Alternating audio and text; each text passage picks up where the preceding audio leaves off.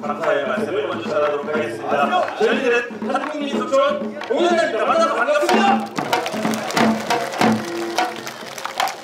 네, 앞으로 약 15분간 저희들의 공연을 관람하게 되셨는데요. 그 첫 번째 순서로는 비나리라는 노래를 한번 준비해봤습니다. 비나리라는 노래는요, 여러분들 가정의 안녕과 그리고 성경을 기원합니다.